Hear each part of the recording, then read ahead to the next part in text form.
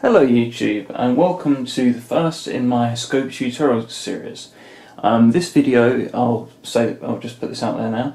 This video is kindly sponsored by Rigol who are lending me this awesome oscilloscope, okay? And um, this particular model, I'll be demonstrating the functions you can use on this, but um, that will be much later on. In the beginning, I'm going to go over general concepts that will apply to any um, oscilloscope and any digital, score, digital storage oscilloscope. Okay. Um, although this model, while um, a little on the pricey side, it's actually quite a good, uh, it's quite a good value for money for a serious hobbyist. It's not overpriced like some of the scopes by Keysight uh, for the functions you get. I mean, this is a four-channel, um, 100 megahertz scope with one gigasamples per second. It's actually quite nice. Um, so let me get down to business. So before we can do anything, we have to go over some safety things. So, you know, it's the first rule of anything, right? So the first thing is your scope must be grounded, okay? So this is more of a concern for people living in Japan, really. Um, so this is I've got a three pin power cord here, okay? Do not defeat this using a, a three to two pin adapter in the US or Japan. Okay, don't do that, or in any other country where you have that possibility. Your scope needs to be grounded to work properly, um, and for safety as well. It should always be grounded. It's a piece of bench gear, and generally speaking, most electrical bench gear, such including some bench multimeters, surprisingly, um, are actually grounded and require a ground. Okay, even though the case is plastic. Okay, so it's critical you have a working ground, and in Japan that can be a problem. But um, if it's a problem for you, please check out my um, Zipplet in Japan series, where I do explain how you can get a ground uh, into your room if you don't have one, um, using tricks such as running a wire from your air conditioner, for example. They're, they're perfectly safe tricks if you um, spend some time doing it properly. Oh, and enjoy the background sound of uh, what we call semi or cicadas. Um, it's the middle of summer. They've all come out. They've come out in, in force. Hopefully, it's not ruining the audio too much. So make sure you've got working ground before we start. Okay. All right. So um, first of all, the most obvious question: What is an oscilloscope? Well, it's a device that shows voltage over time, so you can view a signal over time. Whereas with a multimeter, you're, you're it's very slow at updating, as you probably noticed. You know, even a decent multimeter might update 10 times per second at best. Um, but it doesn't really show you anything if you've got a signal. So imagine you've got a, sine wave, and you know I'll be showing you a signal in a minute using the built-in test point. But if you've got a signal um, you want to look at, you can't look at it with a multimeter. Uh, okay, unless it's an extremely so extremely slow signal, like I don't know, um, 0.1 hertz square wave or something. Then you then you're to see it on a uh, on a multimeter or um, a logic probe. But a multimeter um, cannot give you cannot really tell you much about signals, especially when you you're getting to fast digital electronics. Um, I used this thing to debug my um, fan pulse width modulation. I used it to debug my I squared C implementation that didn't work. I was doing software I squared C and it just didn't work. You try doing that with a multimeter, you can't do that. You need an oscilloscope. So, um, the most basic way, I'm, I'm only going to cover the most basics in this first uh, video and we'll take it from there. So here you have your, you know, you have your trace. Currently it's just displaying a straight line because nothing's plugged in, okay? Um, the horizontal axis is time, the vertical axis is voltage, okay? And down here, let me get you a zoom so you can see the screen nicely. So down here, it's currently saying 1 volts per division. Now what this means is, um, on the screen here is divided into a grid, or graticule and each square is one volt. So if this wave was going up, went up by one square, it would be one volt. Okay. Um, anything above, anything above the, the, middle is positive voltage. Anything below is negative voltage. Okay. Um, so the first thing you want to do when you get your scope um, and you unbox it before you do anything else is you want to um, you want to connect the probe to a test point which is on the front of the machine here. Um, even really cheap scopes have it, but uh, you know, all seriously, all scopes have this. So you want to connect your probe to a test point here, and you want to adjust, and you want to adjust the probe. So I'll show you how to do that. So get your probe, okay, and they, they always use these BNC connectors on decent scopes. Um, if you've got if you've got a mini scope, it might have a mini BNC of some some kind or something like an uh, a mini SMA type connector or something. But decent scopes use proper BNC connectors, so just twist and lock, and in we go. Okay. Now you can see it's picking up some noise. Okay, that's normal because it's not connected to anything, right? Um, your basic controls in your scope are your time base. Okay, this control here does the time base, which is just how quickly it will sample the signal.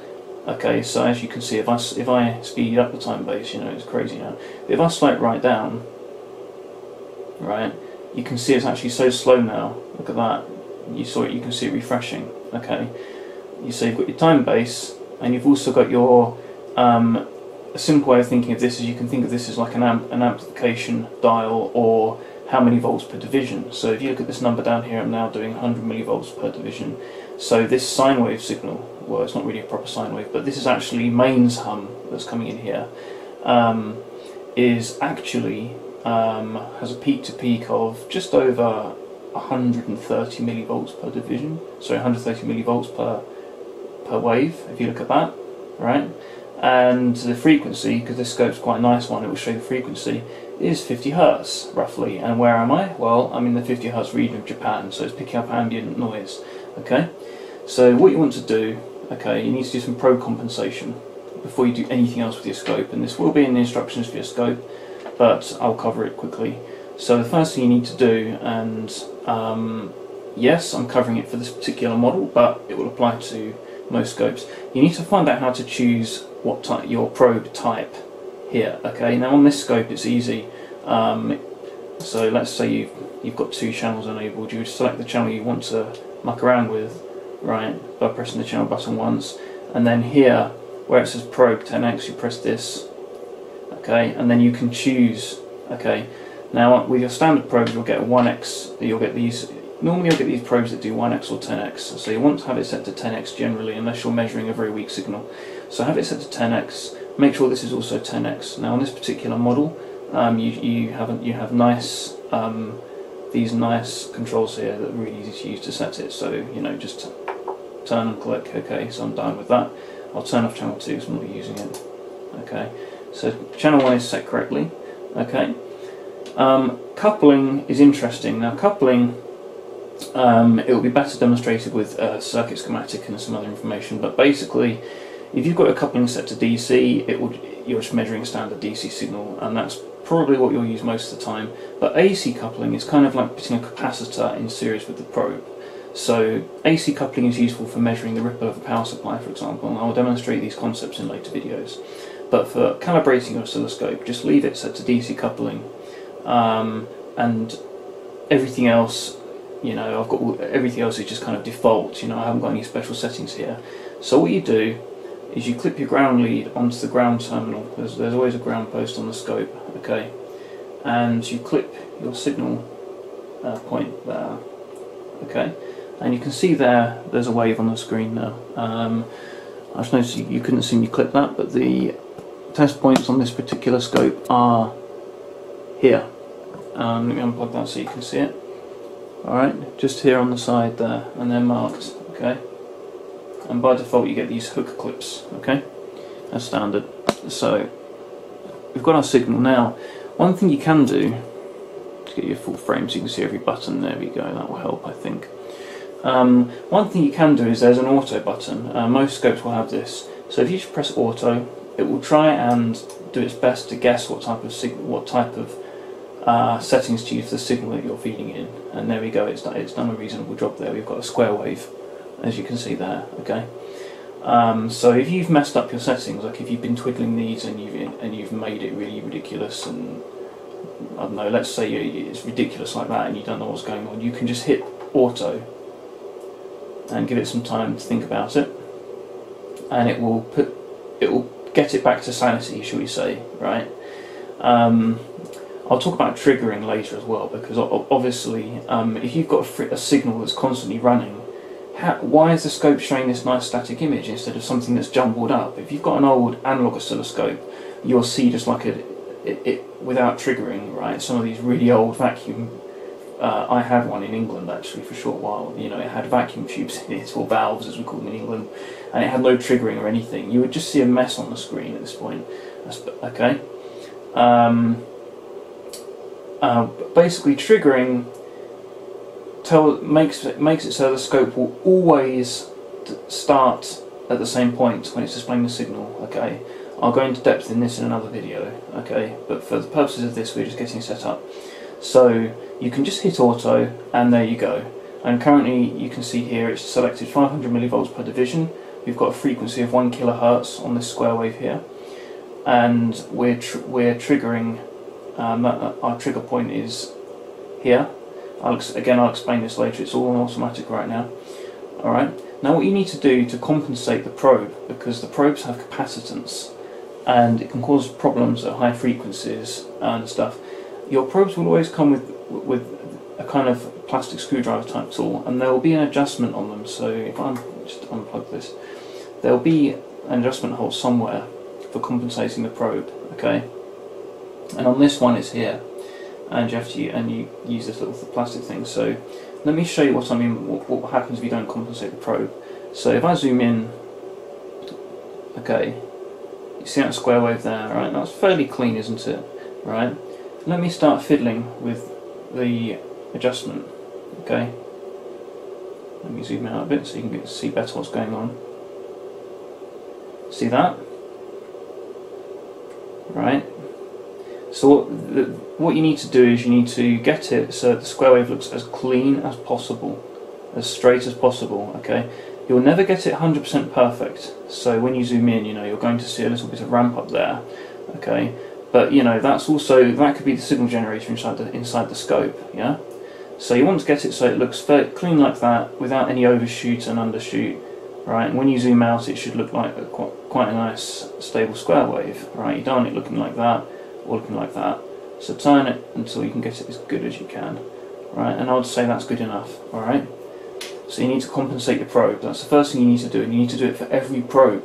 Okay, and uh, some people might even recommend doing it for every channel. So, so when you get your probes, they come with these coloured rings generally. Okay, um, most scope, pretty much, pretty much every scope brand I've seen does this. You get these coloured rings, and you can match them to the channels. So what I recommend doing is matching your probes to your channels and leaving them there. Compensate all of them and leave them in the channels, because each channel might have slight variances in its signal processing circuitry that causes the compensation to be different, if that makes sense. So um, compensate each probe individually, and if you change channel, like if I now take this out of channel 1 and stick it in channel 3, for example, right, and then turn on channel 3, on the scope it's easy, you just press an, a channel that's not illuminated and there you go, the channel's on. And you, if I then press channel 1, the first time I press it, it just changes to, to changing the settings for channel 1, so I can change uh, my coupling. But if I press it again, it will turn off channel 1, right? Um, so let's say this probe was now going to be for channel 3. Well, I should really recompensate the probe if I if I'm making if I'm making really accurate measurements. Um, you know, I can press auto again, and you'll notice even though I haven't done anything clever, um, it's already compensated for channel for channel three. It's you know it's clean enough, right? Generally, that's generally you'll find that's the case. Okay, um, you generally won't need to do that, but it's just good practice, in my opinion. So let me just set, put things back to normal. Okay. And there are some other um, nice settings on this thing. This thing is packed with features. This thing has computer control over USB. Um, this thing can export images. It can print images. There's built-in help screens um, like this, you know, and, and, you can get help on pretty much anything. It's, it's all built into the, the machine. Um, but you know, for the purpose of this, again, this is just the first video. I'm just getting you on, the, getting you in on the basics. So once your probes are compensated, you want to make some measurements. Now, with your probe, you've you've always got this ground clip lead, um, as well as the probe tip. Now the probe tips, um, by default, they're these uh, clipper. Like I like to call these nippers, although they don't nip any. You know what I mean? They're like they're like tiny hooks. Yeah, you can pull that off if you want to to get a finer, an even finer tip, which is usually you're probing a small, a small package. And in fact, in the box, you'll find, okay, they you, usually get these tiny springs as well. And what you do with these is if you put that, you can actually put this around the edge of the, of the probe to, to give you another um, ground. So instead of having to like go through because this distance here between your ground lead and the tip here can cause problems when you're measuring high frequency signals. So you can use this tiny spring thing to measure to use a ground point right next to where you're measuring. But that's for specialist use really when you're measuring really high frequency signals. For standard use this is absolutely fine. Now I do recommend having a look at Dave Jones's video about how not to blow up your oscilloscope. I'll put it, I'll put a link into the video description. But suffice to say, this lead is referenced to mains earth. So if you're measuring a battery powered circuit, um, you won't have any problems whatsoever. Okay, you just click. You can click this any way you want. You can click this to negative voltage on the battery and then measure anywhere on the circuit. You can click this to positive voltage on the battery and measure anywhere on the circuit, and you'll just get negative readings. Right, the readings will be upside down. Okay. But let's imagine you're measuring. Uh, let's imagine you've got a TV apart and you're, you're testing, you're probing around the power supply, and you've got this, and you clip this to live, like mains live well, bang, right? Like literally, this lead will, this lead may explode um, and blow, blow in half. You might, you might, you might blow up a channel on the scope. That's an expensive thing to have repaired. Um, you know, your your breaker might go if you're lucky, but um, I know a friend who blew up a channel on his scope by doing that. so you have to be careful where you clip this this lead if you're measuring um, live circuits that are actually connected to the mains and USB circuits as well. Um, I'll make a video that goes into detail if people want to, want to know, but uh, Dave Jones has a very good video, I'll link to it, and if people still want me to cover it, I'll cover it. But um, to keep it really simple, if it's battery powered, go, go right ahead. Clip this thing anywhere you want, as long as it's battery powered and not plugged into anything else. If it's connected via a DC power supply that uses a two pin plug, okay, or a three pin plug where the third pin is just plastic, like it's it's an unused, the earth pin does nothing. A good example of that is anything sold in England. You know, the earth pin has to be present for the shutters to open, otherwise the device can't be plugged in. But you'll find the third pin is usually plastic. Sometimes it's metal to re- to make it stronger, but it does nothing. If it's a completely isolated DC power supply, again, feel free to to connect this probe any way you want on the circuit, and you won't have a problem. Um, if it's USB, like if you're probing something that's powered by USB, you have to be careful again because, and this is why I said you need to ground the scope carefully. Um, if this scope isn't grounded properly, let's let, let's uh, a good example would be some American homes where um, you can sometimes even in the same room if you've got a bad wiring job, you've got sockets on different phases and all kinds of nonsense in the same room, right? Let's imagine for a second that my computer had a decent, had a really good ground and this had a poor ground, like like a ground that was really high resistance or something, right?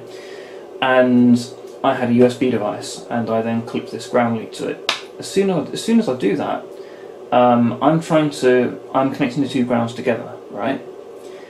What I've done is because the scope has a poor ground connection and the PC has a good ground connection, that can cause some issues. Okay, um, so you've got to be careful about things like that. So if you're probing a USB device, personally what I recommend and what I do myself, this scope is running from the same power strip as all the UPS gear that runs my computer. So everything's on the same ground, everything has the same ground reference. So I'm okay to probe USB stuff as long as this ground lead always goes to ground, right? So if I connect this to plus 5 volts on the USB by accident, well, things aren't going to be happy, you know. Uh, it's not going to go bang, but um, there's a couple of things that will happen depending on your PC. Your PC, it, well, it might go bang if you've got a really poor motherboard, a really poor power supply in the PC, and there's no protection. But usually, what what will happen is the USB port will shut down, uh, protecting it because basically you've shorted it out to ground, right? You've shorted out the po positive five volt supply to ground on your USB on your USB bus. And the reason I'm mentioning USB devices so much is because of the Arduino projects I'm going to be covering on this channel um, and you might be tempted, oh, I can just be, you know, I can just start probing away, or be careful, make sure your ground is connected to ground if you're probing a live USB circuit that's plugged into USB, alright? And if you're, if you're not sure, um, one thing you can do with the real Arduinos is they have two they have two power supplies. You've got USB and a DC barrel jack. So what you can do is after flashing the code to the Arduino, unplug it from USB, power it with a DC isolated power supply, Okay, so just a standard, you know, 12 volt power supply that's isolated, and then probe away, and you, are less likely to make a mistake. You don't want to blow up, blow up one of the channels in your scope. Okay, it's an expensive repair. You don't want to you don't want to go there. Okay, so you know once you've got your probe all, all calibrated, um, and you please check out Dave Jones's video.